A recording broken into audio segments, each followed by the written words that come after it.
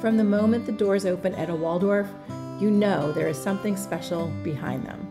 This is the Waldorf Astoria Bonnet Creek in Orlando, Florida.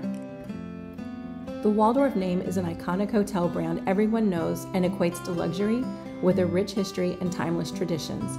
The distinctive grand lobby clocks of Waldorf Astoria's hotels have welcomed visitors for over 125 years. Every Waldorf has its own uniquely designed clock and lobby that reflects the culture of the area. Throughout time, guests of the Waldorf Astoria have used the lobby clock as their gathering place and would simply say to their friends, Meet me at the clock. Before reaching the elevators, you'll see a large cabinet filled with historical photos of the people and events that have taken place within the walls of the Waldorf Astoria Hotel in New York. Many famous people have even called the New York Hotel home. President Hoover spent the last 30 years of his life living at the Waldorf. Many U.S. presidents have even left memorabilia in the presidential suite. JFK left a favorite rocking chair. Other guests include Queen Elizabeth II, Winston Churchill, Elizabeth Taylor, and the engagement party for Prince Rainier and Grace Kelly was hosted at the Waldorf. Wow, if those New York walls could talk. The original Waldorf was built by William Waldorf Astor and John Jacob Astor in the late 1800s. After John's death on the Titanic and William's death four years later, it was demolished and the Empire State Building took its place. The Waldorf name was purchased by a savvy businessman named Lucius Boomer for a single dollar, and in 1931 he built the Waldorf Astoria Hotel we all know to be on Park Avenue in New York. Our room was not considered a suite, but still included an espresso machine, refrigerator, king size bed, as well as a large sofa. But note to self, there's no microwave. So if you like that microwave popcorn while watching a late night movie in bed, it's not going to happen for you. But here's a fun fact Did you know the Waldorf was the first hotel to have electricity, private bathrooms, and offer room service? The hotel really does go to extremes to make sure everything is perfect. Stefan had left his sneakers outside the closet on the carpet when we left the room, and when we returned, there were they were in the same place, but with a white towel under them. We put our shoes away in the closet after that. The view we had from our room wasn't the best, but if you looked out the corner of the room, far to the left, you did have a pretty amazing view of the pool area and overlooking the golf course. Not too bad. The bathroom was very luxurious and actually larger than a few hotel rooms we've stayed in over the years. Bathtub was very nice size to be able to soak in for a little bit, and the shower very, very roomy. But we just had to show you the funniest part of the bathroom, or at least we thought it was funny. Is that not the lowest toilet paper roll you've ever seen in your life? we had already moved in, so it already looked a little messy. In the morning, we headed down to Oscar's for breakfast. This is on the ground floor, just before going out to the pool area. A continental breakfast was offered as part of our room charge, but we opted to have a full breakfast for an upcharge of $14 each. You can choose to sit inside or in the covered screened area outside. There are overhead fans for the hot days and heaters for the cooler ones. Not that there's that many cooler days in Florida. You can order off the menu. If you choose the full buffet, it includes smoked salmon, yogurt, cereal, deli meats and cheeses, and all those yummy pastries, bread, muffins, and even cookies.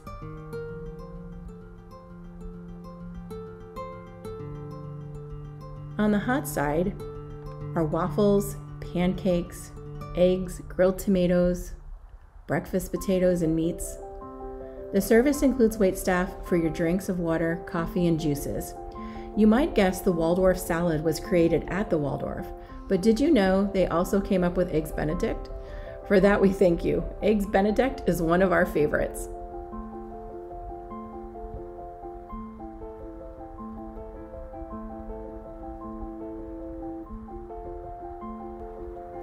Bull and Bear is an award winning restaurant on the lobby level of the hotel and one of 12 restaurants on property. All we could do was peek inside because we didn't know you need to have reservations months in advance. So, pro tip plan ahead. The pathways around the pool are well maintained, with lush landscaping, and the pool is surrounded by a fence to protect the littlest of guests. There are private cabanas for rent and a free game area on an enclosed lawn for things like cornhole and ping pong.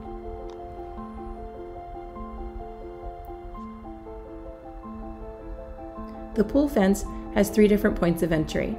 This entrance is next to the towel station and the zero entry area of the pool. You can ask an attendant for assistance getting to a chair or to help raise an umbrella for shade, and most importantly, there is also drink service from the nearby bar. We recommend the Presco Pop. You can rent cabanas, and they include complimentary refreshments and food service if you want just that little extra something for your group.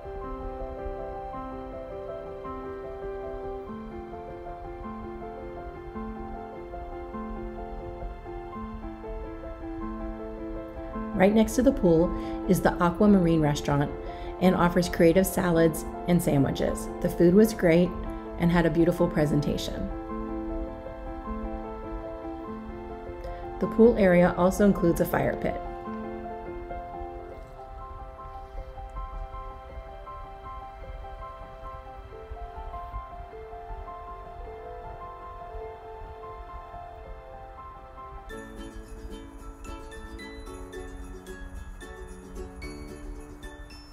The ground level of the hotel gym is over 4,000 square feet of space overlooking the pool and golf course.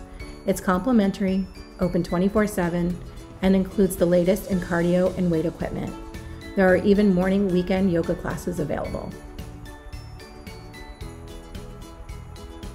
And if you're into Peloton, you're in luck.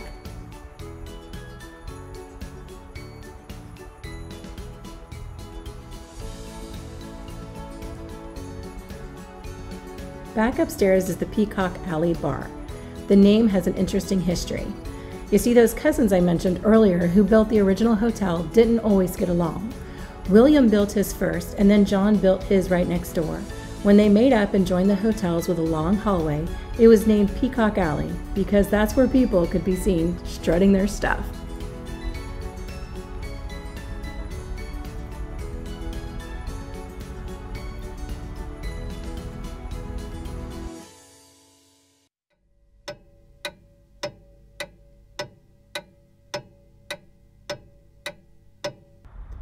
This Waldorf has a convention center between it and the property next door, the Hilton at Bonnet Creek.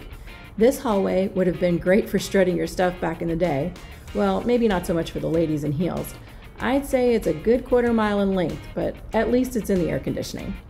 At the end of the convention center hallway, you'll be overlooking the Hilton's zero entry lagoon style pool that includes a lazy river and slide. No matter if you're staying at the Waldorf or the Hilton, you can go back and forth between the properties and enjoy the amenities of each.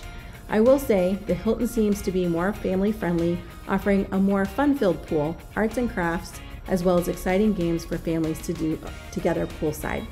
It's just a more overall casual atmosphere. You can bring your own pool floats or buy one at the splash shop. Complimentary inner tubes are available on a first come, first served basis. One thing I really liked on the Hilton side was their little store for quick bites, snacks, and drinks. And you may want to check out the Italian restaurant La Luce. I hear it is awesome. Well, that wraps up the tour of both sides of the property at Bonnet Creek.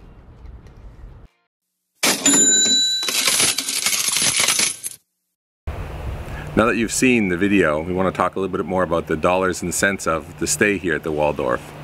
Well, a little bit ago when Diane and I were first looking at staying there, we went on YouTube and we watched some videos of the hotel and it was kind of interesting where all the videos we watched were they were nice, they were well done, but they were all sponsored videos talking about how affordable the stay is for a family because it's near all the Disney and the theme parks and, and so on.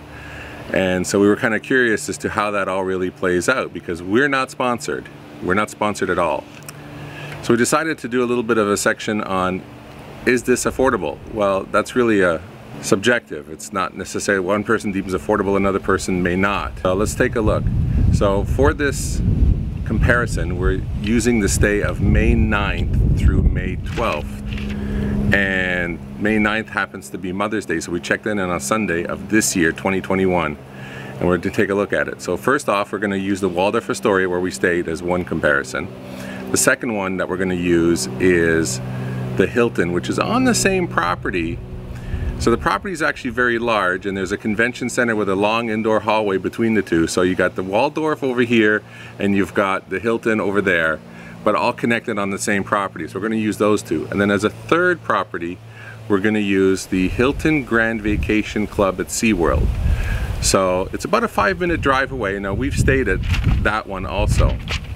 But what makes it interesting is that it is a timeshare resort. And as a timeshare resort, you think that you have to be a timeshare member to be able to go there. But as it turns out, you can rent it as a regular hotel room the same way. If you go on the Hilton site or if you go to hotels.com, you can in fact rent something from the Hilton Grand Vacation Club at SeaWorld. Now it's called SeaWorld because it's literally right across the street from SeaWorld, so it's really convenient. The difference with the Hilton Grand Vacation Club SeaWorld is that it is a condo.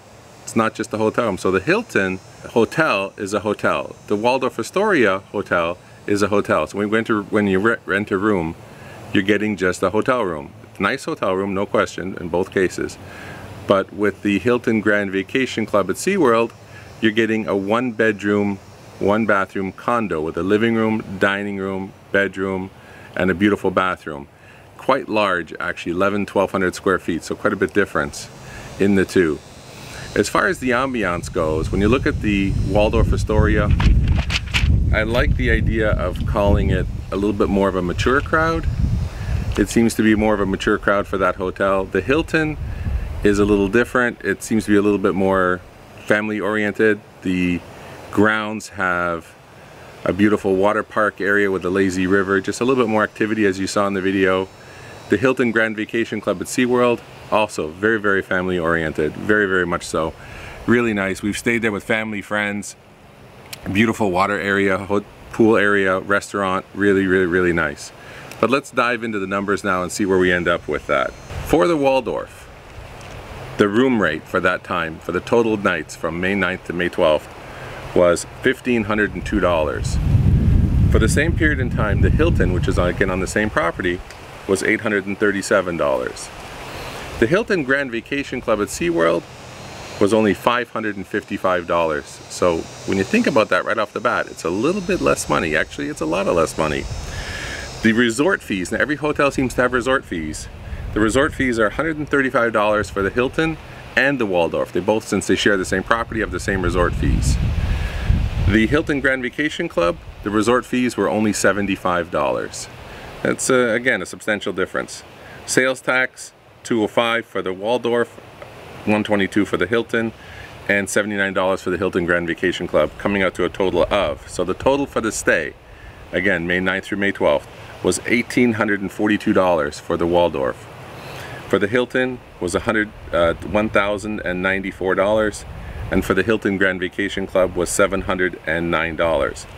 I'd like to add to that that for the Waldorf and the Hilton, you had to use valet parking, and valet parking was $40 per day. In and out privileges included, but was $40 per day. At the Hilton Grand Vacation Club, the parking was free, completely free. So it makes quite a bit of difference. So the grand total is about oh, a little over $1,000 less for the Hilton Grand Vacation Club than for the Waldorf, and you get a bigger property to, to stay in. My vote for the whole thing, having stayed at the Hilton Grand Vacation Club and the Waldorf, I would say the Waldorf is a nice property, but the Hilton Grand Vacation Club wins hands down. Price for what you get, the size of the unit. Uh, if I was to stay a week, I'd much rather have a 12, 11, 1200 square foot condo than a hotel room. Hope this helps. If you like this kind of information, hit the like button, subscribe. Let me know in the comments if there's any other kind of comparisons you'd like me to do. I love doing these. Let me know. Have a good one. Talk to you soon.